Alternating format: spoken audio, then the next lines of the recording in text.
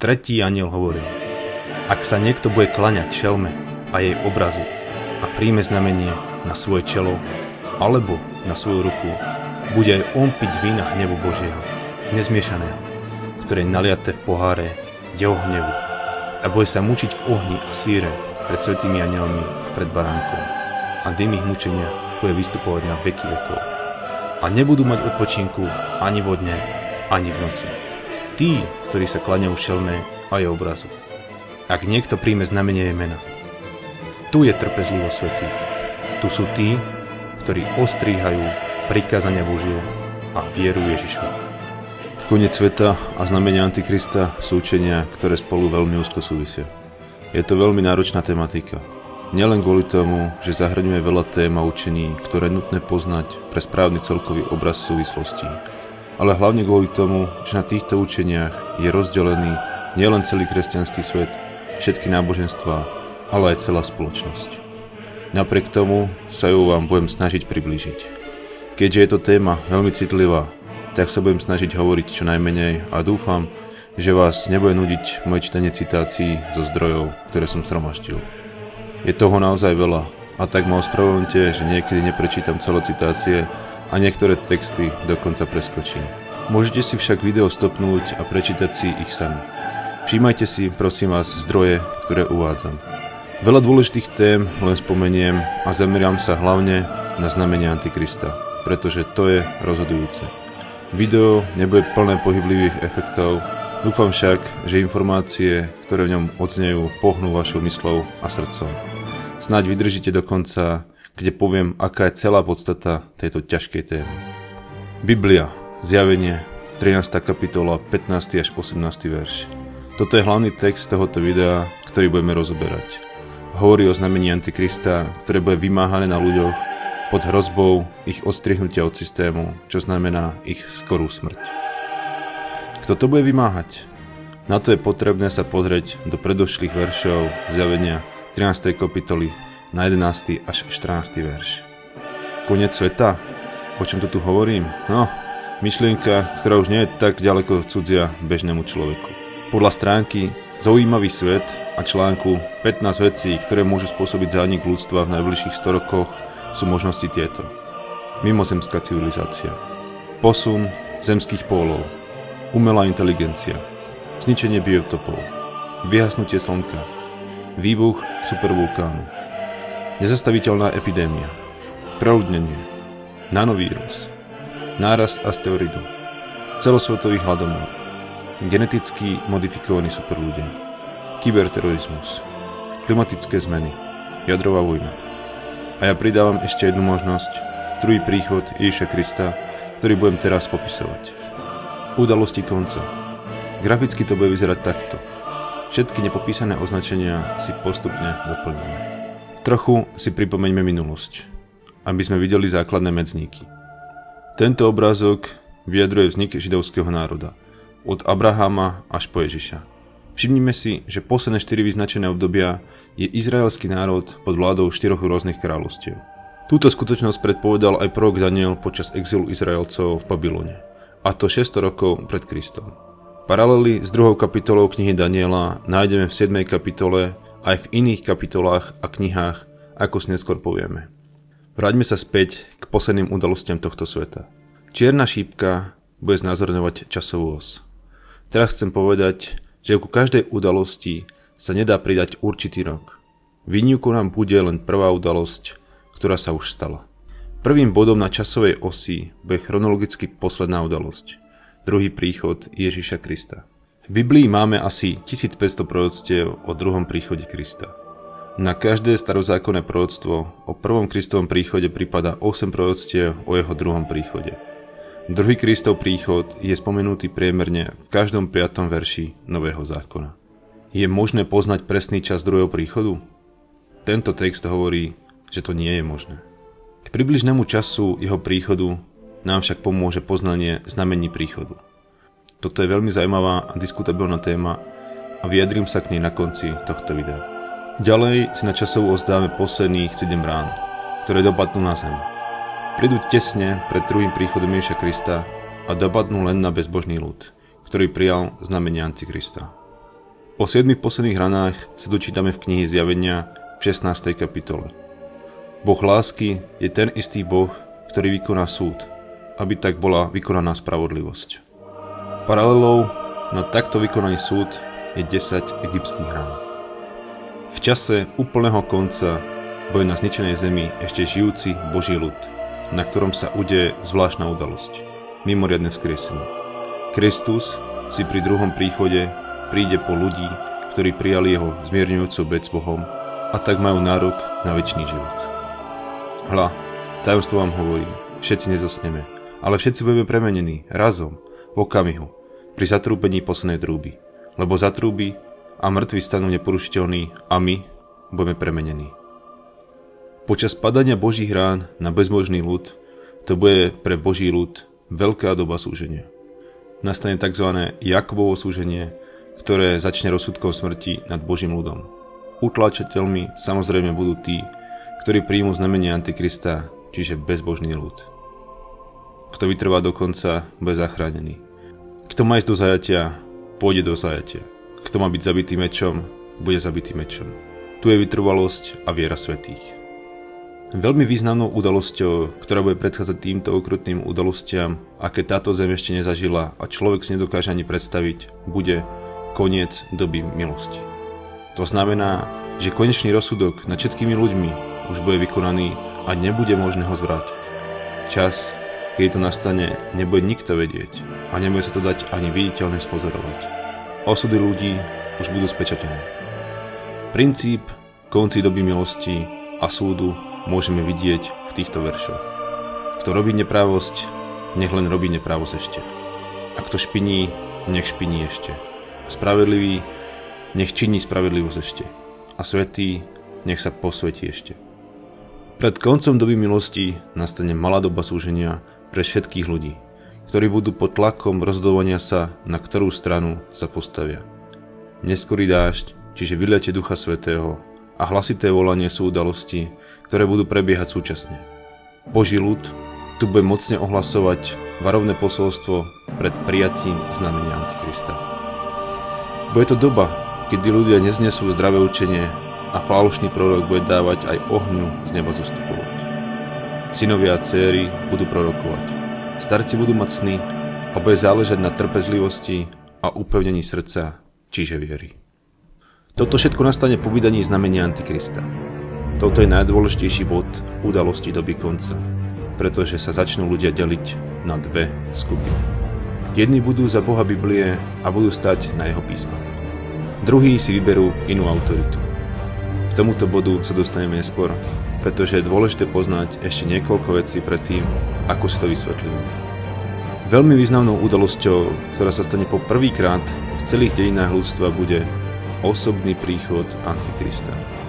Bude samozrejme potvrdzovať učenie jeho znamenia a klam bude taký obrovský, že obstoja len tí, ktorí budú pevne stáť len na Božom písme. Vtedy, keby vám niekto povedal, hľa, tu je Kristus, alebo tu, neverte, lebo povstanú falošní Kristovia a falošní proroci dajú veľké znamenia a budú robiť zázraky, takže by zviedli ľud, keby to bolo možné, aj vyvolať. Pred všetkými týmito hroznými udalosťami si Boh vytriebí Boží ľud. Ľudí svetých a pevných vo vieru, ktorí budú schopní hlásať varovné posolstvo plnou mocou. Zdôrazňujem, že toto triebenie sa vykoná v Božom ľude. U tých, ktorí vyznavujú Ježiša Krista ako svojho stvoriteľa a vykupiteľa. A ktorí sú už oboznámení s učením o znamení Antikrista.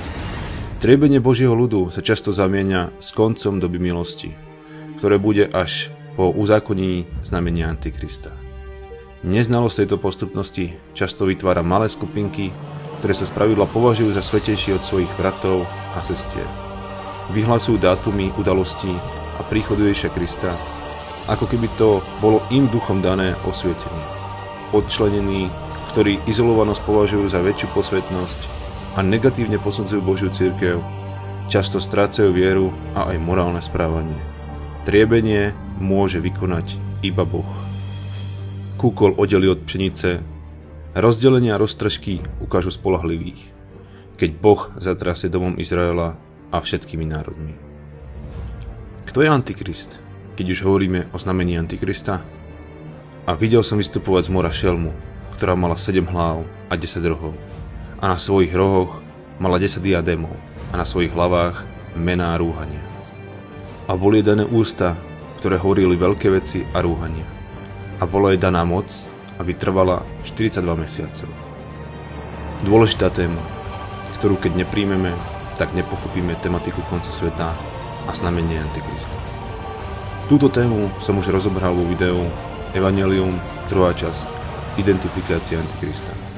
Skrátke to zhrnie.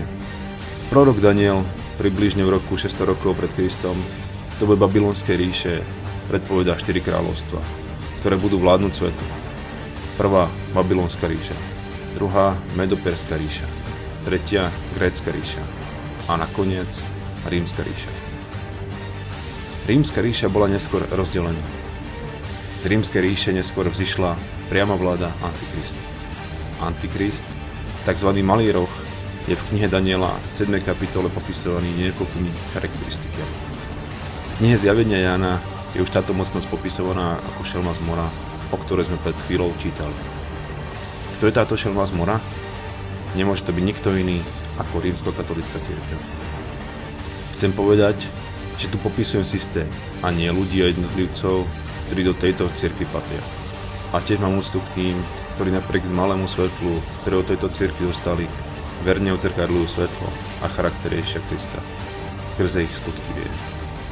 Sám patrím do katolíckej rodiny a ako mladý som ministroval. Prešiel si prvým svetým príjmaním a tiež aj birmovkou.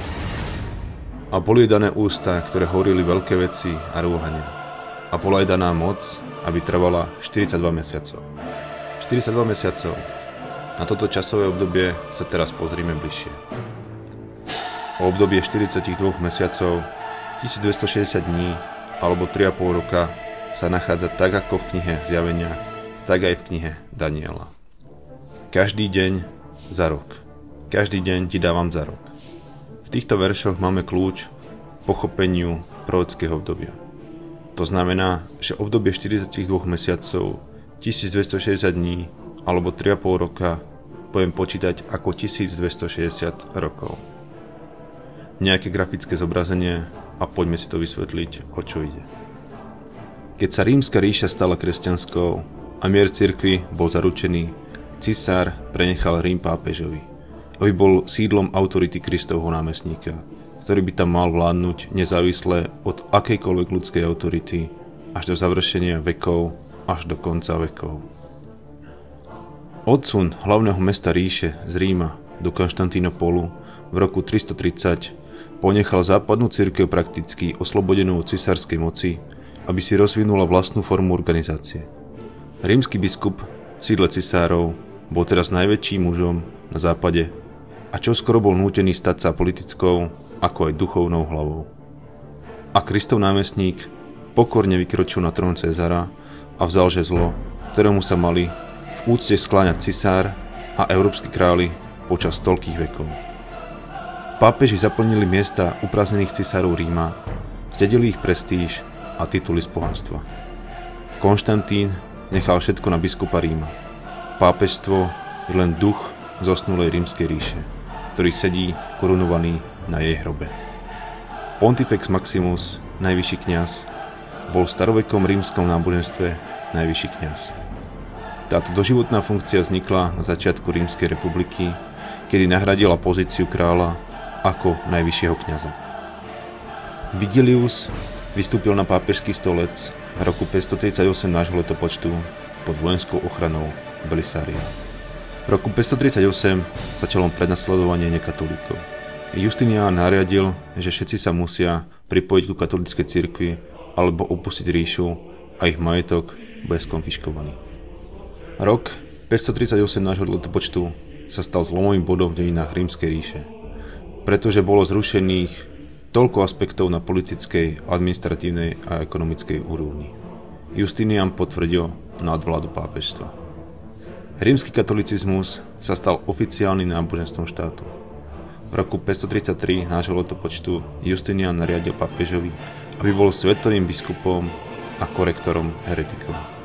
V roku 538 nášho letopočtu toto nariadenie nadobudlo účinnosť. Tým sa začala nová éra v histórii. Znamenalo to začiatok stredoveku. V roku 538 nášho letopočtu samotné pápežstvo prešlo veľkou zmenou.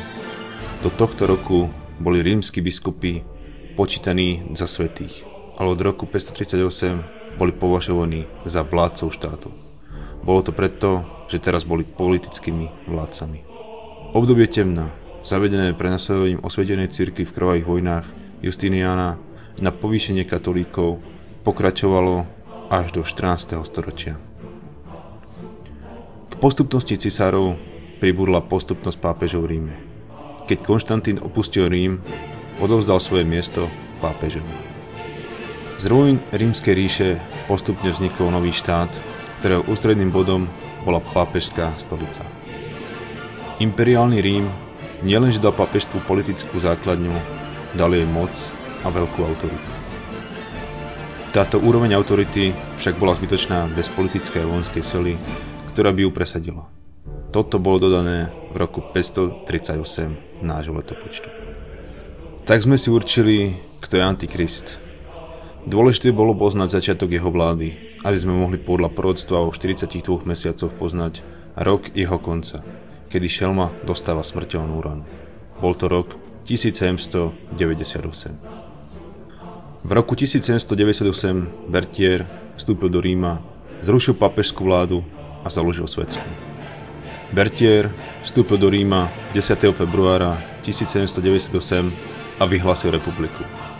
Polovica Európy si myslela, že Napoleonové veto bude rešpektované a že s pápežom je pápežstvo mŕtve. V roku 1798 generál Bertier na príkaz francúzskej vlády obsadil jeho hlavné mesto Rím. Rečníci prednášajú svoju pápežskú pohrebnú reč s radostnou rúhavou iróniou prestalo existovať. Zdá sa, že je všetko hotové. Málo kedy počas celej svojej histórie církev poznala kritickejšiu situáciu. Skrátka, katolicizmus ako celok ako by umieral.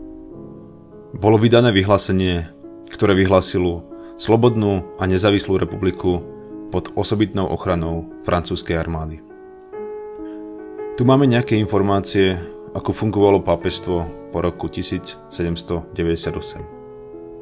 Videli sme šelmu z mora, Antikrista, pápežský Rím, ktorá povstala na 42 prorockých mesiacov a potom dostala smrteľnú ranu, o čom hovorí kniha Zjavenia, 13. kapitola, 3. verš. A videl som jednu z jej hlav ako doťatú na smrť. Keď pápežstvo už od roku 1798 nie je najväčšia mocnosť na tejto zemi, tak kto potom? A videl som inú šelmu, vystupujúcu zo zeme, ktorá mala dva rohy, podobné baránkovým, ale hovorila ako drak. A vykonáva všetku moc prvej šelmy pred ňou a pôsobí, aby sa zem i tí, ktorí bývajú na nej, klaňali prvej šelme, ktorej to smrteľná rana bola uzdravená. A robí veľké divy, takže aj ohňu dáva zostupovať z neba na zem pred ľuďmi. A zvodí tých, ktorí bývajú na zemi pred divy, ktoré sú jej dané urobiť pred šelmou a káže obyvateľom zebe, aby spravila obraz šelme, ktorá mala ranu od meča a ožila. A bolo jej dané, aby dala ducha obrazu šelmy, aby aj hovoril obraz šelmy, aj aby urobila to, aby všetci, ktorí by sa neklaňali obrazu šelmy, boli pobytí. Táto mocnosť postáva zo zeme, na miesto z vody, ako to urobili ostatné národy spomenané v Danielovi a v zjavení. Zo zjavenia vieme, že voda symbolizuje oblasti sveta, ktoré majú veľkú populáciu. Vody, ktoré si videl, kde sedí smilnica, sú ľudia, zástupy, národy a jazyky. Zjavenie 17. kapitola 15. verš. Zem preto predstavuje opak. Znamená to, že tento nový národ by vznikol v oblasti sveta, ktorá bola pred koncom 18. storočia prakticky neobývaná nemohla vzniknúť medzi preplnenými a bojujúcimi národmi starého sveta. Muselo to prísť na riedko obývanom kontinente. Rohy predstavujú kráľov a kráľovstva alebo vlády. Daniel 7. kapitola 24. verš alebo 8. kapitola 21. verš. Absencia korún znamená skôr republikánsku formu vlády než monarchiu. Baránkové rohy označujú nevinný mladý, neutlačajúci, mierumilovný a duchovný národ.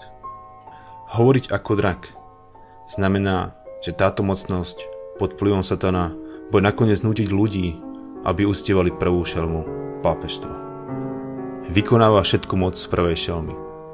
Táto mocnosť sa stane prenasledovateľskou mocnosťou, ktorá bude nútiť ľudí ísť proti svojmu svedomiu, ako to urobil pápežský Rím, ktorý je zobrazený v prvej polovici zjavenia kapitola 13. Satanov prístup sa bude javiť ako hlboko duchovný a bude robiť neuveriteľné zástraky, ktoré oklamú miliardy ľudí. Tí, ktorí sa odmietnú pripojiť k tomuto hnutiu, budú považovaní za rozdeľujúcich, tvrdohlavých a radikálnych. Kniha zjavenia označila túto mocnosť posledných čias tiež ako falošného proroka. Zjavenie 19. kapitola 20. verš alebo zjavenie 20. kapitola 10. verš. Pretože sa bude javiť ako duchovná a dôveryhodná, ale namiesto toho bude vo svojom správaní satanská. Táto mocnosť urobí obraz šelmy uzákonením náboženských praktík. Príjme zákony vyžadujúce uctievanie a prinúti ľudí, aby ich buď poslúchli, alebo čelili smrti. Táto akcia je kópiou alebo obrazom cirkevno-štátnej formy vlády, s ktorou pápežstvo vládlo na vrchole svojej moci počas stredoveku, keď boli zabité milióny ľudí pre svoju vieru. Táto mocnosť, ako hlava tohto medzinárodného hnutia, bude najbližšie ovplyvňovať národy sveta, aby uvalili trest smrti na všetkých, ktorí odmietnú uctievať šelmu alebo jej obraz. Teraz sme videli, že prvá šelma zo zjavenia predstavuje pápežstvo a že utrpela svoju smrteľnú ranu. V roku 1798, keď boli zrušené pápežské štáty, Rím vyhlásil republiku a pápeža Piusa VI. uväznili vo Francúzsku, kde zomrel v zajatí 19. augusta 1799. Prorok potom vidí prichádzať ďalšie zviera. Keďže vieme, že šelma proroctve predstavuje kráľovstvo, musíme dospieť k záveru, že okolo roku 1798 mal vzniknúť nový národ. V roku 1754 John Wesley napísal nasledujúcu poznámku pod 11. verš. A videl som ďalšie divé zviera, na všetkých ostatných miestach ako falošný prorok. Prichádza potvrdiť kráľovstvo prvej šelmy. Prichádza po tom, čo to iné kráľovstvo dlho vykonával svoju autoritu zo zeme ale ešte neprišiel, hoci nemôže byť ďaleko, pretože sa má objaviť na konci 42 mesiacov prvého zvieraťa. A mal dva rohy ako baránok, mierny, nevinný zlat. Ale prehovoril ako drak, jedovatý, ohnivý, strašný. Rovnako aj tí, ktorí sú horliví pre prvú šelmu. Významný kázateľ David Talmage založil kázeň Amerika pre Boha na texte zjavenia 13. kapitoly 11. verša. Pričom šelmu s dvoma rohmi vyložil ako odkaz na Spojené štáty. Je rozumné, povedal, predpokladať, že Boh vynechá z proroctiev svojej knihy celú západnú pologulu? Nie, nie. V porovnaní s problémami, ktorým čelili európske mocnosti pri riešení revolučného či neopolenského Francúzska v rokoch 1789 až 1815 prebehla akceptácia USA na medzinárodnej scéne prekvapivo harmonicky a hladko. Zatiaľ, čo posledná moc vychádza zo zeme, kde predtým to neboli ľudia a zástupy a národy a jazyky. V roku 1798 boli Spojené štáty jedinou veľmocou, ktorá sa tedy dostala do popredia na území, ktoré predtým neokupovali ľudia, zástupy a jazyky. V kľúčových kategóriách moci zostanú v dohľadnej budúcnosti USA dominantné. To, čo v konečnom dôsledku robí rozdiel medzi vojnou a mierom, nie sú dobré úmysly, ani silné slova, ani veľká koalícia. Je to schopnosť, dôveryhodnosť a globálny dosah americkej tvrdej sily. Spojené štáty sú a zostávajú jediným nenahraditeľným národom. To platilo pre uplynulé storočie a bude to platiť aj pre storočie nasledujúce. Tedajší minister zahraničných vecí Francúzska Habert Verdine povedal pred parížským publikom Spojené štáty ako hyperveľmoc je krajina, ktorá je dominantná alebo prevláda vo všetkých kategóriách. Tu máme pár významných udalostí, ktoré sa udiali okolo roku 1798, kedy pápežstvo dostalo smrteľnú ranu. Táto rana sa mala zahojiť. A videl som jednu z jej hlav ako doťatu na smrť, ale smrteľná rana bola uzdravená. A vykonáva všetku moc prvej šelmy pred ňou a pôsobí, aby sa zem i tí, ktorí bývajú na nej, klaňali prvej šelme, ktorej to smrteľná rana bola uzdravená. Dav, napätý vzrušením, je tu, aby bol svetkom prechodu týchto dvoch mužov, Mussoliniho a kardinála Gaspariho, ktorých pero zhojí rany. Hlavným historickým fenoménom 20. storočia je objavenie sa Spojených štátov ako najväčšej svetovej katolíckej veľmoci a prevaha amerického vplyvu vo Vatikáne. Ján Pavol II bol najvplyvnejším hlasom za morálku a mier vo svete za posledných 100 rokov. Billy Graham, evangelický pastor, na jeho živých zhromaždeniach v 185 krajinách sa zúčastnilo 210 miliónov ľudí. A vykonáva všetko moc prvej šelmy pred ňou a pôsobí, aby sa zem i tí, ktorí bijajú na nej, kláňali prvej šelme, ktorej to smrteľná rana bola uzdravená. Stena, oddelujúca cirkev a štát, ktorá bola postavená svetskými humanistami a ďalšími nepriateľmi náboženskej slobody, musí spadnúť. Tieto naše protichodné názory sú novými fašistami. Keby nekatolickí ľudia v Amerike poznali iba matku církev, tak ako my, milovali by ju rovnako vrúcne. Naše moto je Neprichádzame dobiť, ale zvíťaziť. Našim cieľom je urobiť Ameriku prevažne katolickou. Oficiálne katolická církev vidí Ameriku najhoršie tiesni po veci morálky a náboženstva a vidí katolicizmus ako jedinú možnú cestu spásy pre národ. Vidí samu seba ako posledný obranca skutočného amerikanizmu. Tento program predstavuje nadvládu amerického myslenia, mravov a vlády katolíckej cirkvi. Stena odlúčenosti medzi cirkvou a štátom je metaforou založenou na zlej histórii. Metaforou, ktorá sa ukázala neužitočná. Mala by byť priamo a doslavne opustená.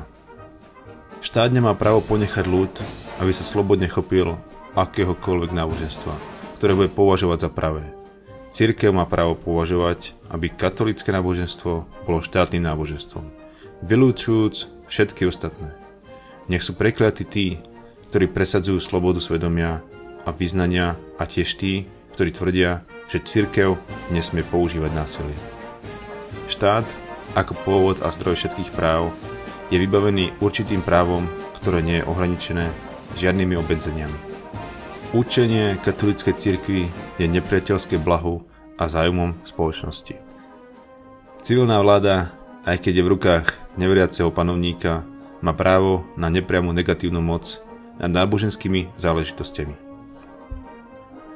Rímsko-katolická církev musí požadovať právo na slobodu iba pre seba samu. Rímsky katolík musí využiť svoj hlas za účelom zaistenia katolíckej nadvlády v tejto zemi.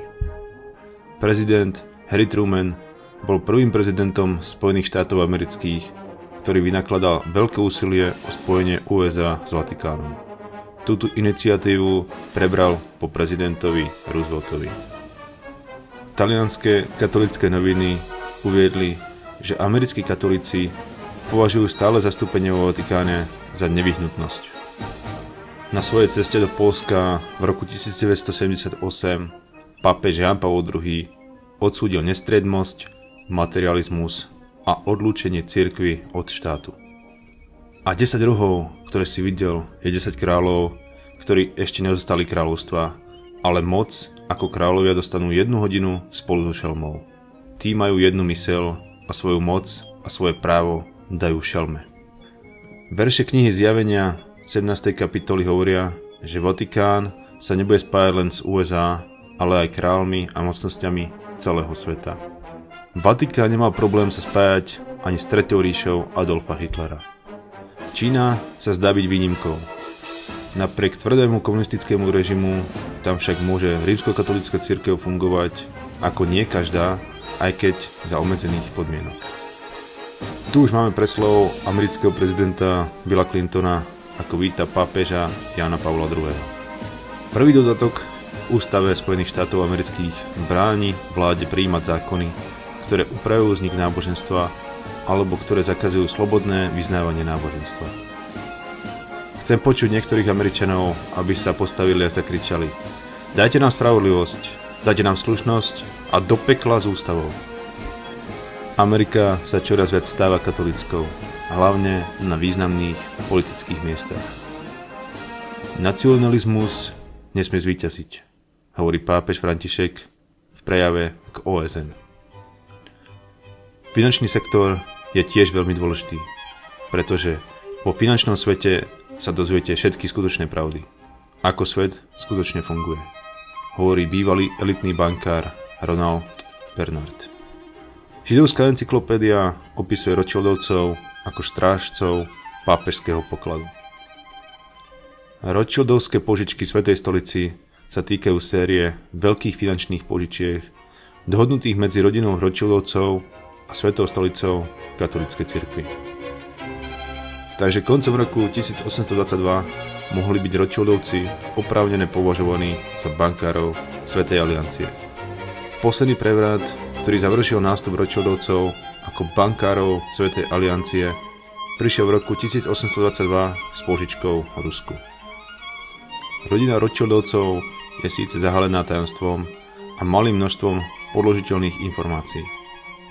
Rodina Medičievcov, talianská banková rodina a politická dynastia, ktorá bola v 15. storočí najväčšou v Európe, vytvorila štyroch pápežov katolíckej cirkvi a dve kráľovné Francúzska. V súčasnosti je však dôležité vedieť, ako si Spojené štáty americké zariadili svetovládu. Nie len cez množstvo vojen a krvi prelivania, ale hlavne cez finančný systém. Po druhej svetovej vojne po roku 1945 získala Amerika značné množstvo zlata. Navyše, pred vojnou americký prezident Roosevelt nariadil znarodenie zlatých úspor občanov USA.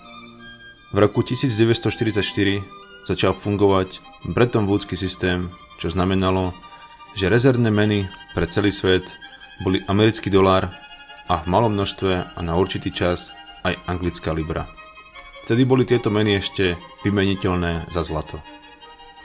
V 60. rokoch 20. storočia belgicko-americký ekonóm Robert Triffin poukázal na to, že krajina, ktoré menu ako globálnu rezervnú menu chcú cudzie štáty držať, musí byť ochotná dodať svetu dodatočnú zásobu svojej meny na naplnenie svetového dobytu po týchto devízových rezervách, čo vedie k obchodnému deficitu nedostatku.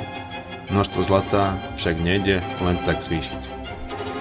Nixonov šok bol rad ekonomických opatrení, ktoré v roku 1971 podnikol prezident Spojených štátov amerických Richard Nixon.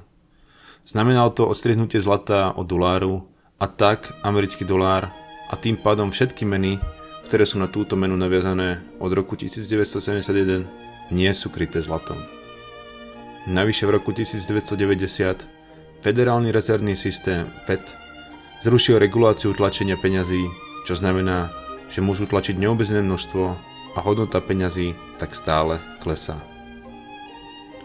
Názorne to môžeme vidieť v tomto videu. Odporúčam si pozrieť celý diel a celú sériu tohto finančného vzdelania. Tiež vám odporúčam pozrieť si cyklus prednášok Porozumej finančnému trhu od Trim Brokera. Tu skutočne pochopíte, čo sú doláre, doláre a eurodoláre. Ronalda Ižipa, ktorý stojí za týmto projektom, sledujem už od roku 2016. Popisuje tu silu dolára – Mimo toho má aj hodnotné názory na slovenskú, európsku a globálnu politiku a financie. A robí veľké divy, takže aj ohňu dáva zostupovať z neba na zem pred ľuďmi. Tu už ide o náboženské prepojenia a duchovné odpadlíctvo pápežstva s inými náboženstvami a cirkvami za účelom spojenia sa v jedno náboženstvo, v jednu cirkev. Samozrejme na čele s rímskokatolickou cirkvou ako matkou všetkých cirkví. V roku 2014 v Južnej Kórii sa stretáva rímskokatolická cirkev, islám, hinduizmus, buddhizmus, anglikánska cirkev, akože za protestantov, žitia a ďalších 5 náboženstiev na podpisový ceremoniál dohody o jednote náboženstiev. Odpor voči učeniu cirkevných pastierov nemôžno považovať za legitímny prejav kresťanskej slobody ani rozmanitosti darov ducha píše Ján Pavol II. Konečný vzťah zjednotenej cirkvi Kristovej aj miestnych kongregácií s radami cirkvi nejasne vysvetlený, hoci sa neustále kladie dôraz na nadchádzajúcu veľkú cirkev, jedna cirkev pre svet. V tomto vyhlásení nachádzame jadro ekumenického myslenia. Potrebujeme byť jednotnejší, ochotnejší napredovať na ceste k jednote. Táto jednota je nesmierne vzácná v určitom zmysle je ohrozená budúcnosť sveta. Pre jednotu musia všetky cirkvy akceptovať pápežskú autoritu. Posledným cieľom ekomunizmu, ako ho katolíci chápu, je jednota vo viere, uctievanie a uznanie najvyššej duchovnej autority rímskeho biskupa, pápeža. Ak niekedy katolíci získajú dostatočnú väčšinu v tejto zemi, tak náboženská sloboda sa skončí. Teraz si môžeme vysvetliť, čo je to znamenie Antikrista. A pôsobí to, aby všetkým, malým i veľkým, bohatým i chudobným, slobodným i sluhom, dali rité znamenie na ich pravú ruku alebo na ich čelo. A aby nikto nemohol ani kúpiť, ani predať, iba ten, kto má znamenie, alebo meno šelmy, alebo počet jej mena. Tu je múdrosť. Kto má um, nech spočíta číslo šelmy, lebo je to číslo človeka jej číslo je 666. Je to čip, čarový kód, číslo 666, zašifrované v nejakých symboloch? Pozrime sa, čo o znamení hovorí Biblia. Do vyhľadávače výrazu v Biblii som zadal neúplné slovo znamen. Našiel som zhody v 238 veršoch naprieč celou Bibliou. Väčšinou mi našlo slovo znamenie, ale robilo to zhody aj so slovom znamená a podobne. Slovo znamenie bolo často spojované so zázrakmi a znameniami, ktoré Boh vykonal pri výdení izraelského národa z Egypta a znamenia a zázraky, ktoré vykonal Ježiš počas jeho prvého príchodu na túto zem. Predtým, ako si vysvetlíme, čo je to znamenie Antikrista, neskôr musíme povedať, čo je to znamenie Krista. A vtedy som postavil svoju zmluvu s vami a nebude viacej vyťaté všetko telo vodami potopy. Ani nebude viacej potopy, aby zanikla zem. A Boh povedal, toto bude znamením zmluvy, ktorú ja dávam medzi sebou a medzi vami a medzi každou živou dušou, ktorá je s vami na väčšie pokolenia. Svoju dúhu dávam na oblaku a bude znamením zmluvy medzi mnou a medzi zemou. Že by dúha bola znamením Krista? Pri pohľade na LGBT ľudí je nám jasné, čo je znamením Krista? Je to album Dark Side of the Moon od skupiny Pink Floyd. Myslím, že tieto verše skôr hovoria o tom, že Boh už nikdy viac nezničí zem potopou a je to zmluva medzi ním a zemou. Toto sú prikázania, ustanovenia a právne predpisy, ktoré mi hospodin, váš Boh, prikázal vás učiť, aby ste ich dodržiavali. Priviažeš si ich na ruku ako znamenie a budeš ich mať ako pripomienku na čele medzi očami. Môžu byť prikázania, respektíve zákony, znamením Krista? A ty hovor synom Izraelovým a povedz, avšak moje soboty budete ostrihať, lebo je to znamení medzi mnou a medzi vami, po vašich pokoleniach, aby sa vedelo, že ja som hospodin, ktorý vás posvecujem. Preto budú synovia Izraelovi ostrihať sobotu tak, aby svetili sobotu po svojich pokoleniach väčšnou zmluvou. Je to znamením, medzi mnou a medzi synmi Izraelovými na veky.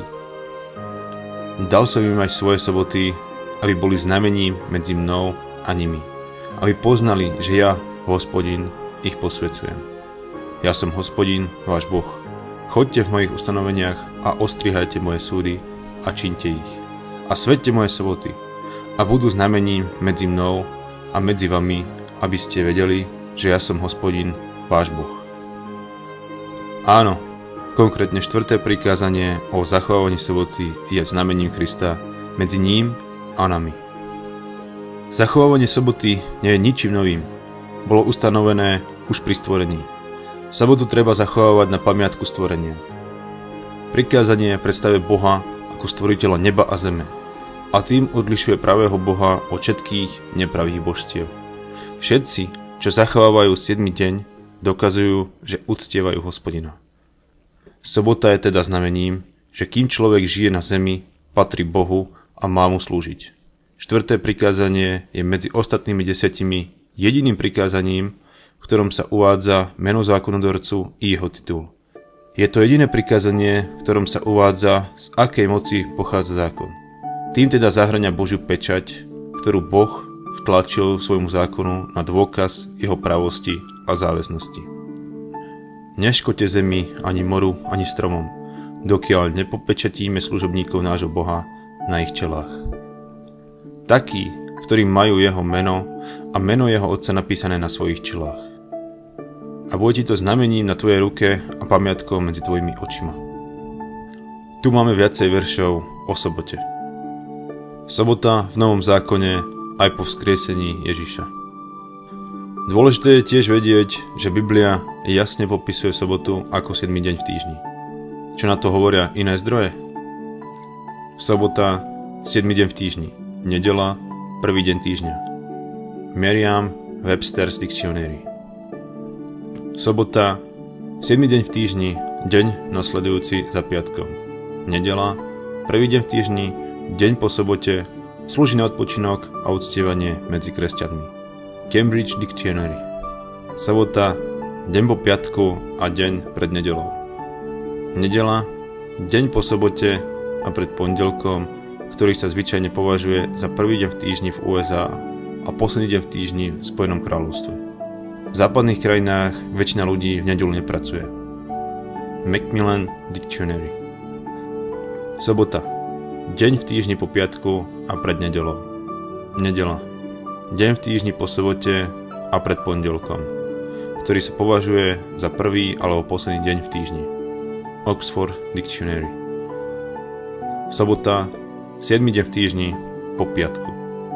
Nedela, prvý deň v týždni, ktorý väčšina kresťanských siekt zachováva ako sabat, deň odpočinku. Dictionary.com A bude vravieť slova proti najvyššiemu a unaví svetých najvyšších, a bude pomýšľať na to, že premení časy a zákon. Premení časy a zákon? To je dôležitý text, ktorý sa vzťahuje našemu zmora pápežstvo, ktoré sa snaží zmeniť Boží zákon. Tu je niekoľko veršov z Biblie o nezmeniteľnosti zákona desatura. A ako by si to mohli dovoliť? Sme na miesto všemovúceho Boha na tejto zemi. Pápež má takú veľkú dôstojnosť a je taký vznešený, že nie je len človekom, ale ako by bol sám Bohom a jeho zástupcom. Vtelenie Boha sa deje trikrát. V jasliach, pri oltári, po Vatikáne. Pápež nie je len zástupcom Ježiša Krista, ale je ním samotným. Ježiš Kristus skrytý v tele. Sám Boh je povinný podriadiť sa rozsudku svojho kňaza a buď odpustiť alebo neodpustiť podľa rozrešenia, ktoré dávajú alebo odmietajú. Kňazov súd predchádza a Boh ho podpíše. Pápež má moc meniť časy, rušiť zákony a zaobí sa všetkými vecami, dokonca aj s Kristovými príkazmi. Rozsudky, ktoré dáva pápež, majú byť okamžite schválené v nebi. Ak niekto hovorí, že sviatostné rozrešenie kniaza nie je súdnym úkonom, nech je prekliatý. Ak niekto hovorí, že kňazi nemajú môcť zavezovať a rozvezovať, alebo že nielen kňazi sú služobníkmi rozrešenia, nech je prekliatý. Kňaz nielen vyhlasuje, že hriešníkovi je odpustené, ale skutočne mu odpúšťa. Moc kňaza je taká veľká, že samotné nebeské súdy podliehajú jeho rozhodnutiu. Kňaz, keď rozrešuje hriešnika, vykonáva samotný úrad Ducha Svetého pri posvedcovaní duši. Vypočítalo sa, že rímsky pápeži priamo alebo nepriamo zabili 50 miliónov mužov a žien, ktorí odmietli byť účastníkmi rímskych modloslúžieb, ktorí sa držali Biblie ako slova Božieho. Písmená na pápežovej mirte sú tieto Vicarius Filidei, čo je v latinčine vikár, čiže zástupca Syna Božieho. Latinské číslice vyjadrujúce počet mená Vicarius Filidei. Walter Brut, veľský laik, absolvent Oxfordu a mučeník, podľa záznamov uplatňuje Dux Clery na pápežov. Tvrdí sa, že kedykoľvek pápež podpisuje oficiálny dokument, podpis je Dux Clery, čo znamená hlava duchovenstva. Latinské číslice vyjadrujúce počet mena Dux Clery. Latinizujú všetko, omše, modlitby, hymny, litánie, kanóny, dekréty, buly, všetky sú v latinčine. Myslím, že zvrchovanosť rímskokatolíckej cirkvi nad Bibliou a samotným Ježišom nie je treba komentovať. Teraz to tak možno nevyzerá. Je to preto, lebo ešte stále sa nespamätala zo smrteľnej rany a aj preto, lebo svoju politiku robí v skrytosti. Čo zmenili? Keď sa cisár Konštantín I, pohanský uctievač slnka, dostal v roku 313 k moci, legalizoval kresťanstvo a vytvoril prvý zákon, o zachovávaní nedele. Jeho neslavne známy nedelný exekučný zákon zo 7. marca 321 nášho letopočtu znie takto. V úctihodný deň slnka nech si oddychnú sudcovia a ľudia žijúci v mestách a nech sú všetky dielne zatvorené. Tento nedelný zákon nepredstavoval žiadne skutočné uprednostňovanie kresťanstva. Zo všetkých jeho zákonných ustanovení je zrejme, že cisár v rokoch 313 až 323 s plným vedomím usiloval o uskutočnenie svojho náboženského cieľa, zlúčenie pohanstva a kresťanstva. Podľa asýrsko-babylonskej koncepcie sa kládol osobitný dôraz nevyhnutne na číslo 7. Celý týždeň smeroval výrazne k 7. dňu, sviatku, dňu odpočinku. Sabat je odvodený od odpočinku aj od čísla 7. U egyptianov to bolo naopak. Pre nich bol naopak boh slnka počiatkom a pôvodom všetkých vecí. Deň slnka, nedela, anglicky Sunday, sa pre nich stala nevyhnutne sviatkom. Sviatok sa presnul z posledného na prvý deň v týždni. Keď jezuita svätý František Saverský prišiel do Indie, okamžite požiadal pápeža, aby tam zriadil inkvizíciu Židovská skazenosť, na ktorú sa František stiažoval, bola evidentne zachovávaním sabatu medzi týmito domorodými kresťanmi. Od čas apoštolov až do koncilu v Laudicii, čo bolo okolo roku 364, pokračovalo sveté zachovanie židovskej soboty, ako to dokazujú mnohí autory. Prvodní kresťania zachovali židovský sabat, preto kresťania po dlhý čas spolu zachovali svoje konvencie o sabate, v ktorých sa čítala určitá časť zákona a to pokračovalo až po laudicijský koncil. Pohanskí kresťania zachovávali aj sobotu. Prvodní kresťania uctievali sobotu a trávili deň v pobožnosti a kázniach. A nie pochyb, ale túto prax odvodili o samotných apoštolov, ako sa zdá vo viacerých písmach na tento účel. Sobota bola pevným putom, ktorý ich spájal so životom celého ľudu a svetením sabatu nasledovali nielen Ježišov príklad, ale aj jeho príkaz. Boj zachovať sobotu pre toho, ktorý prestal od svojho stvoriteľského diela, ale neprestal od svojho diela prozreteľnosti. Je to odpočinok pre rozjímanie o zákone, nie pre nečinnosť rúk. Po sviatku neutíchajúcej obety sa koná druhý sviatok soboty a pre toho, kto je spravodlivý medzi svetými, sa slúži zachovať aj sviatok soboty. Zostáva teda sabatizmus, čiže zachovanie soboty Božiemu ľudu. Starí kresťania boli veľmi opatrní pri zachovaní soboty alebo 7. dňa. Je zrejmé, že všetky orientálne cirkvy a najväčšia časť sveta zachovali sobotu ako sviatok. Až do 5. storočia sa v kresťanskej cirkvi pokračovalo v zachovaní židovského sabatu. Za čias Hieronyma robili najúdajnejší kresťania obyčajnú prácu v nedelu.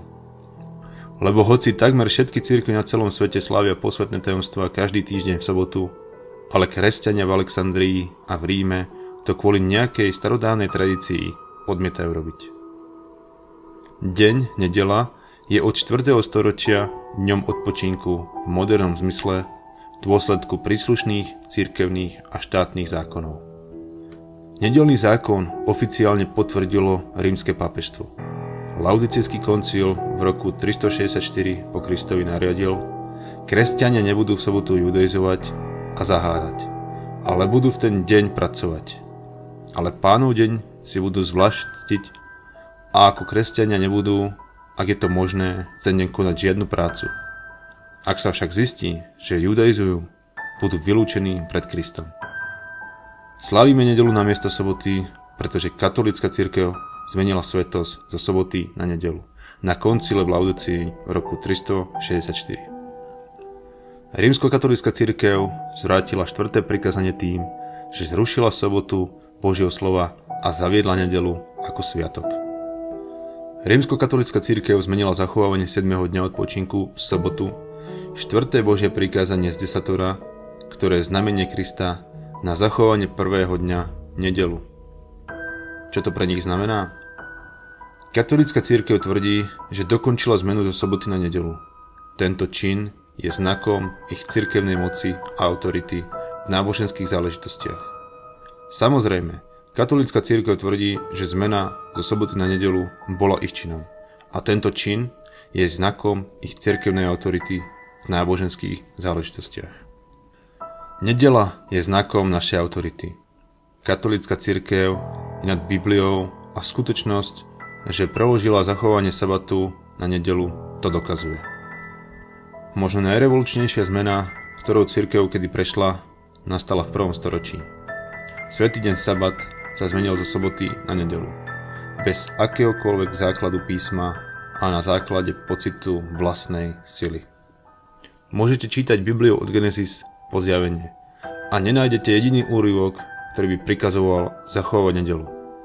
Písmo nariadiť aj náboženské zachovanie soboty, dňa, ktorý nikdy nesvetíme.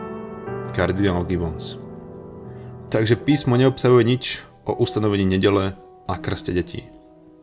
Katolícka církev na základe svojho božského poslania zmenila deň zo soboty na nedelu. Kresťanstvo má ďakovať katolíckej cirkvi za ustanovenie nedele za sobotu. V písme však nie je žiadny príklad ani príkaz zachovať nedelu ako sobotu. Teraz treba poznamenať, že katolická církev pôsobením Ducha Svetého zmenila desatoro z hory Sinaj v kresťanskom zmysle. Katolická církev teraz pridala k prvému Božiemu prikázaniu druhé prikázanie, prikázanie uctievania obrazov a rozdelila desiate Božie prikázanie na dve nezávislé prikázania. Církev tiež zmenila prikázanie zachovať sabatný deň na prikázanie zachovať ho v nedelu. Sabat, najslavnejší deň v zákone, splynul s pánovým dňom. Títo a podobní neprestali kvôli kázaniu Krista, ale kvôli autorite k cirkvi. Katolická církev určila nedelu za deň spoločnej bohoslužby a preberá všetku zodpovednosť alebo vinu za túto zmenu. Církev na druhej strane vzťahuje tretie prikázanie na nedelu ako na deň pána, ktorý treba svetiť po zmene dňa odpočinku zo židovského sabatu alebo 7. dňa v týždni na prvý deň. Nedela nie je založená na písme, ale na tradícii a je jednoznačne katolickou inštitúciou. Z toho vyplýva povinnosť prestať pracovať nedelu a počas niektorých sviatkov. Pracujúci človek nech je nabadaný a vedený k uctievaniu Boha, k vážnemu praktizovaniu náboženstva a okrem iného aj k sveteniu nediel a sviatkov. Nech sa naučiť ctiť a milovať svetú církev, spoločnú matku na všetkých, a teda poslúchať predpisy církvy a pristupovať k sviatostiam, pretože sú to Bohom určené prostriedky na získanie odpustenia hriechov, vedúce k svetému životu. Rerum Novarum, encyklika pápeža Leva 13. z 15.5.1891. Pozrime sa, čo si o nedeli a iných nebiblických náukách myslí protestantský svet, ktorý sa považuje za ten, ktorý nesúhlasí s Rímom. Všetky, naozaj všetky významné denominácie, akože protestantského sveta, súhlasia s tým, že nedela je deň, ktorý máme svetiť a tráviť hlavne s Bohom. Výnimkou sú len baptisti 7. dňa, ktorí ale príjmajú učenie o nesmrteľnosti duše a iné nebiblické náuky. Biblické učenie, ale aj učenie katechizmu, islamu, judaizmu, hinduizmu, buddhizmu a filozofie o smrti a posmrtnom živote som zhrnul v troch príspevkoch, ktoré nájdete na facebookovej a instagramovej stránke Cesta, Pravda, Život. Satan zvedie ľudí dvoma veľkými bludmi. Učením o nesmrteľnosti duše a učením o posvetnosti nedele. Prvé je základom špiritizmu, druhých spája s Rímom. Protestanti Spojených štátov budú nad hlbinou ochotne podávať ruku špiritizmu, budú sa načahovať nad priepasť a chytať sa rímskej moci. Pod vplyvom tohto trojitého spojenia svet pôjde za Rímom a bude pošľapávať práva svedomia. Filozofia špiritistov predpokladá, že ľudia spolu so všetkými ostatnými živými bytostiami sú v podstate nesmrteľní duchovia, ktorí dočasne obývajú fyzické tela. Katolická církev na základe svojho poslania zaviedla nedelu viac ako tisíc rokov pred existenciou protestantstva. Keď protestantský svet vznikol, zistil, že nedela je príliš pevne etablovaná na to, aby proti nej bojoval. Stačilo teda pokojne sa podriadiť katolickým rádom. Udelila tak cirkvi právo zmeniť deň. Nedela je preto dodnes uznávaným potomkom katolíckej cirkvi. Poviete mi, že v sobotu bol židovský sabat, ale kresťanský sabat sa zmenil na nedelu. Zmenené? Ale kým? Kto má právo môcť zmeniť vyslovný príkaz všemohúceho? Ste protestant a vyhlasujete, že sa riadite Bibliou, iba Bibliou. Ak sa budete držať svojich vlastných zásad, ak sa skutočne riadite Bibliou a iba Bibliou, mali by ste byť tiež schopní ukázať pasáž v Novom zákone, ktorá hovorí, že štvrté prikázanie bolo konkrétne zmenené. Otázka. Ako dokážete, že katolická církev má moc vyhlasovať sviatky a sveté dni? Odpoveď. Práve posunutím soboty na nedelu, čo schvalujú protestanti. Církev preniesla zachovanie soboty na nedelu božskou neumilnou autoritou. Protestant, ktorý tvrdí, že Biblia je jediným vodcom viery, nemá žiadnu právomoc pri zachovávaní nedele. Protestanti si neuvedomujú, že dodržiavaním nedele príjmajú autoritu hovorcu cirkvi pápeža. Bolo a je prikázané svediť sabatný deň, ale sobotný deň nebola nedela. Bezprostredne sa však s istým triumfom povie, že sobota bola prenesená zo 7. na prvý deň týždňa so všetkými jeho povinnosťami, privilégiami a sankciami. Kde možno nájsť záznam o takéto zmene? V Novom zákone nie. Absolútne nie. Kázeň na konvencii baptistických ministrov. Mnoho ľudí si myslí, že nedela je sabat, ale ani v Novom zákone, ani v ranej cirkvi nie je nič, čo by naznačovalo, že by sme mali nejaké právo preniesť slavenie 7. dňa v týždni na prvý. Sabat bola a je sobota a nie nedela. Anglikánsky pastor. Biblický zákon hovorí, že na 7. deň máme odpočívať. To je sobota. Nikde v Biblii nie je stanovené, že bohoslužby sa majú konať v nedelu. Anglikánsky arcibiskup.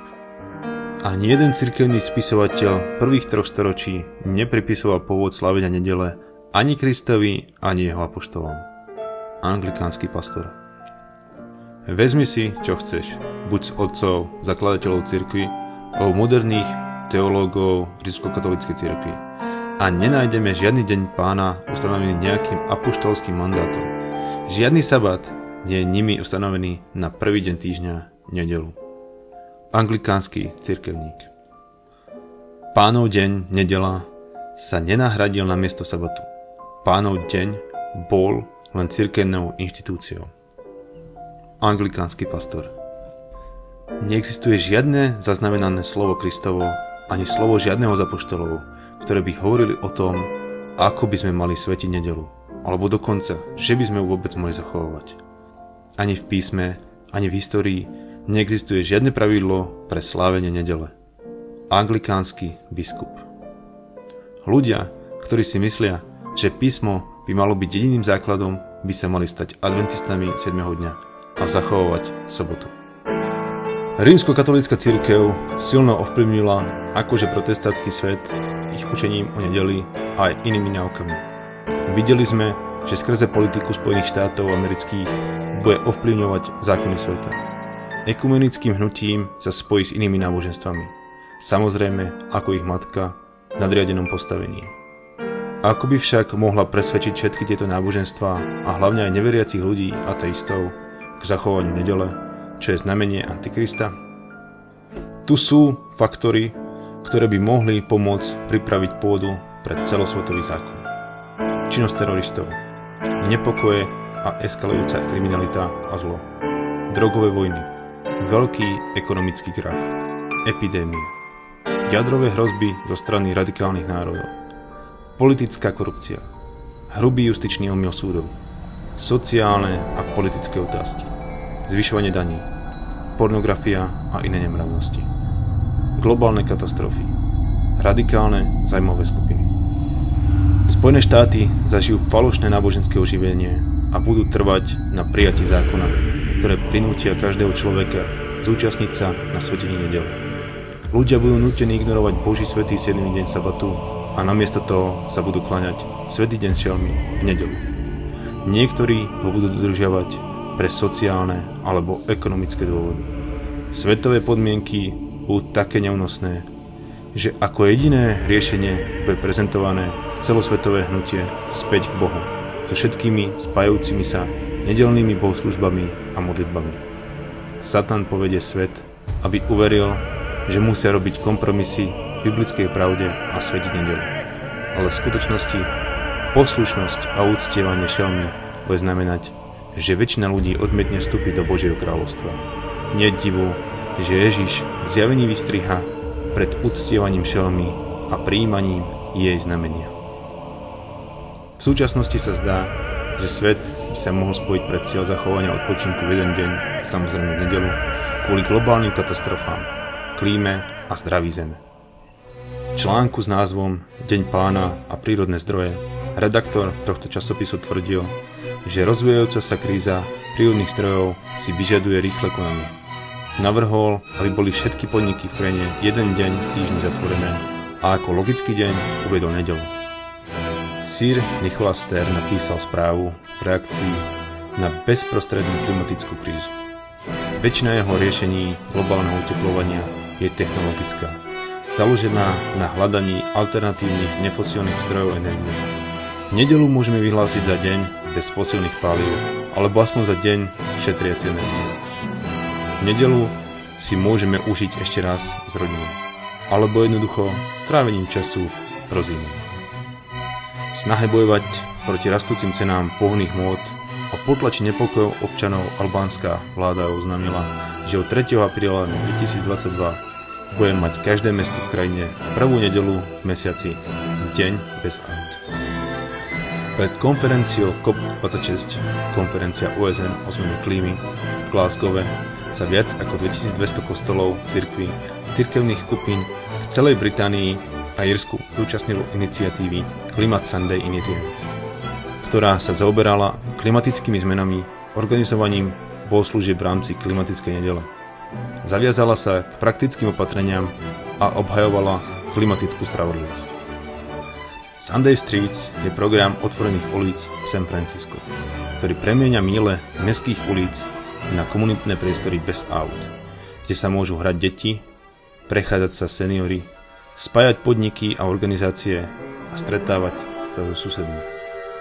Nedele bez aut pomáhajú podporovať chôdzu a jazdu na bicykli, čo môže mať pozitívny vplyv na celý týždeň. Zákaz používania súkromných aut v nedelu prináša množstvo dodatočných výhod pre verejné zdravie a pohodu.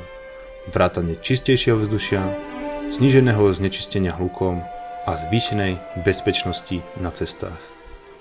Od nedele 27. marca 2022 na 4 hodiny každú nedelu ráno medzi 6 a 10 zostanú niektoré cesty v Bombaji úplne alebo čiastočne uzavreté pre automobilovú dopravu v rámci iniciatívy Nedelné ulice.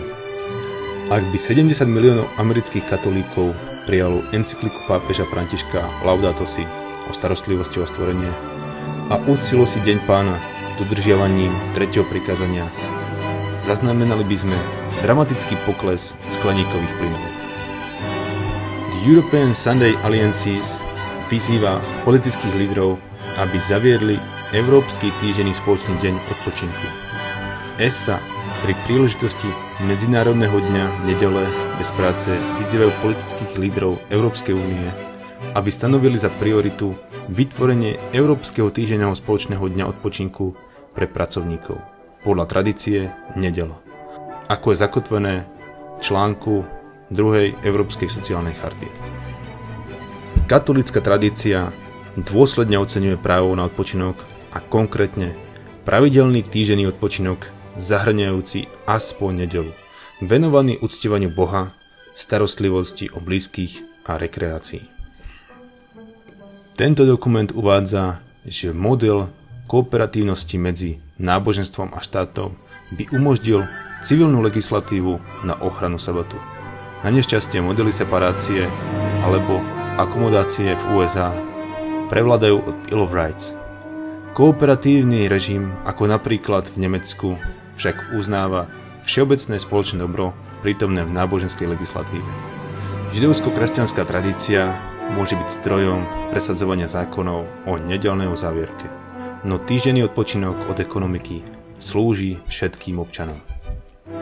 Modré zákony, tiež známe ako nedelné zákony, sú zákony, ktoré obmedzujú alebo zakazujú niektoré alebo všetky aktivity v určených dňoch najčastejšie v nedelu v západnom svete.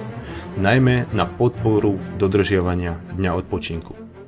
Modré zákony sa uplatňujú v niektorých častiach Spojených štátov a Kanady, ako aj v niektorých európskych krajinách, najmä v Rakúsku, Nemecku, Švajčiarsku a Norsku, pričom väčšina obchodov je v nedelu zatvorená. Pôvod modrých zákonov čiastočne pramení aj z náboženstva, najmä do zákazu svetenia sabatu v kresťanských cirkvách podľa tradície prvého dňa sabatu. Odborové zväzy aj obchodné združenia historicky podporovali legislatívu modrých zákonov. Od Kuby po klimatické zmeny oživil úlohu Vatikánu v globálnej diplomácii. Teraz prináša svoju aktivistickú agendu do USA. V nedelu má mimoriadný význam naša účasť na Eucharistii. Nedela má byť dňom, ktorý uzdravuje naše vzťahy s Bohom, so sebou samými, s druhými a so svetom. Odpočinok nám otvára oči pre väčší obraz, dáva nám obnovenú citlivosť na práva iných. A tak deň odpočinku, zameraný na Eucharistiu, osvetľuje celý týždeň a motivuje nás k väčšej starostlivosti o prírodu a chudobných. Laudato si, druhá encyklika pápeža Františka. Vyhlásenie o starostlivosti o spoločný dom z 24. maja 2015. Tretí aniel hovoril, ak sa niekto bude kláňať čelme a obrazu a príjme znamenie na svoje čelo alebo na svoju ruku, bude aj z vína hnevu Božieho, z nesmiešaného, ktorý je naliaté v poháre jeho hnevu a bude sa mučiť v ohni a síre pred svetými anielmi a pred baránkou. A dým ich mučenia bude vystupovať na veky vekov. A nebudú mať odpočinku ani vodne, ani v noci tí, ktorí sa klaňajú šelme a jej obrazu. Ak niekto príjme znamenie jej meno. Tu je trpezlivo svetých. Tu sú tí, ktorí ostriajú prikázania Božie a vieru Ježišovu. Toto je tak dôležité posolstvo pre dnešnú dobu, že ho prečítam ešte raz. Tretí aniel hovoril, ak sa niekto bude klaňať šelme a jej obrazu a príjme znamenie na svoje čelo alebo na svoju ruku, bude aj on piť z vína hnevu Božieho nezmiešaného, ktoré je naliaté v poháre jeho hnevu a bude sa mučiť v ohni a síre pred svetými anielmi a pred baránkom a dym ich mučenia bude vystupovať na veky vekov. A nebudú mať odpočinku ani vodne, ani v noci. Tí, ktorí sa klaňajú šelme a je obrazu. Ak niekto príjme znamenie jej mena, tu je trpezlivo svetý. Tu sú tí, ktorí ostríhajú prikázania Božie a vieru Ježišu. Či neviete, že komu sa vydávate za sluhov cieľom poslušnosti, že ste sluhami toho, koho poslúchate, buď sluhami hriechu na smrť, buď sluhami poslušnosti na spravedlivosť. Preč, preč, vidíte odtiaľ, nedotýkajte sa nečistého, vidíte z jeho stredu, z Babylona, očistite sa. Vidíte z neho, môj ľudia, aby ste sa nezúčastnili jeho hriechov, aby ste nedostali z jeho rán. Teraz k podstate celého tohto posolstva. Vyzerá to možno veľmi negatívne. Mohli by sme tiež povedať, že len kritizujem katolickú církev, protestantský svet a koniec koncov celý systém. Môže to tiež vyzerať tak, že vaše bremeno dodržiavania zákona odpočinku chcem preniesť zo zabehnutej nedele na biblickú sobotu a potom všetko bude super. Nie, nie, vôbec nie. Možno by sa to dalo povedať, že to nie je až také jednoduché. Bohu nejde o to, aby ste zo strachu dodržiavali jeho zákon a mali tak nárok na väčší život. Bohu ide o váš život. O váš celý životný štýl. O každý detail vášho života. Nezáleží na tom, koľko toho vlastníme, ale na tom, či z toho, čo máme, vieme dávať. Nezáleží na tom, či sa viem presadiť, ale na tom, či viem prekonať sami seba. Nezáleží na tom, koľko máme škôl a aké máme znalosti ale na tom, ako múdro vieme s tým, čo máme, hospodáriť. Nezáleží na tom, čo robíme, ale na tom, ako to robíme a prečo to robíme. Nezáleží na tom, či sa sami vieme radovať, ale na tom, či dokážeme prinášať radosť iným. Nezáleží na tom, či sme bojazliví a máme strach, ale na tom, či sa chováme tak, ako by sme strach nemali. Nezáleží na tom, či sa nám utrpenie vyhne, ale na tom, či ho vieme, ak predsa len príde, prijať. Nezáleží na tom, či sme šťastní, ale na tom, či sme schopní robiť šťastných iných. Nezáleží na tom, či sme milovaní, ale na tom, či milujeme iných a sme pre nich poženaním. Nezáleží na tom, čo nás rozprávajú ľudia, ale na tom, aký skutočne sme, ako sme verní sami sebe. Nezáleží na tom, ako vieme rozprávať, ale na tom, aby naše slova vyjadrovali úctu k pravde. Nezáleží na tom, či Boh plní našu vôľu, ale na tom, či sa my snažíme uskutočňovať Jeho vôľu. Nezáleží na tom, či dlho žijeme, ale na tom, ako sme naplnili svoj život. Nezáleží na tom, kedy zomrieme, ale na tom, či sme pripravení stretnúť sa kedykoľvek s Bohom. Pozrime sa ešte raz na celé grafické znázornenie posledných udalostí. Odporúčam vám knihu Veľký spor vekov, ktorý o tejto téme hovorí viac. Schválne som z tejto knihy nepoužil žiadnu citáciu a používal iné zdroje, pretože s autorkou knihy majú ostatné protestantské cirkvy a katolíci problém. Ak nemáte predsudky, tak čítajte túto knihu. Zadarmo ju môžete mať v knižnej forme. Prečítať na internete alebo vypočuť v audioforme. Konkrétne o posledných udalostiach doby konca hovorí táto kniha. Tiež si ju môžete prečítať na internete alebo vypočuť v audioforme. Sú tu aj iné knihy na tému konca sveta a znamení Antikrista. Znamenia príchodu Krista. Na začiatku som túto tému odložil a povedal, že je diskutabilná. V časti o triebení Božieho ľudu som povedal niečo viac. Hovoril som tam o ľuďoch, ktorí sa pokladajú za svetejších od svojich bratov. Určujú dátumy udalostí a posudzujú iných. Teraz túto tému dokončím. Vojny, nákazy, hladomory a zemetrasenia nie sú bezpečnými znameniami doby konca. Toto sa vždy vyskytovalo. Môžeme zažiť vojnu, potom mier, epidémie, potom obdobie zdravia, hladomor, potom nadbytok, zemetrasenia, potom obdobie kľudu. Evangelium kazané všetkým národom, je najjasnejšie naplnenie znamenia príchodu, ktoré teraz svietí na náboženskom obzore. Navyše máme ťažisko Evanelia vložiť na posledné posolstvo tretieho aniela o vystrihaní sa znamení Antikrista, aby sme nedostali 7 posledných rán. Keď vidíme, ako je teraz posolstvo nesené do celého sveta ku všetkým národom, poznávame v tom naplnenie predpovedí druhého príchodu Krista. Je to najjasnejšie znamenie pre dokončenie diela. V tom splývajú všetky naše nádeje. Posolstvo má byť samozrejme hlásené bez toho, aby sme vyvolávali strach a malomyselnosť. Boh Biblie je Boh lásky a nie strachu.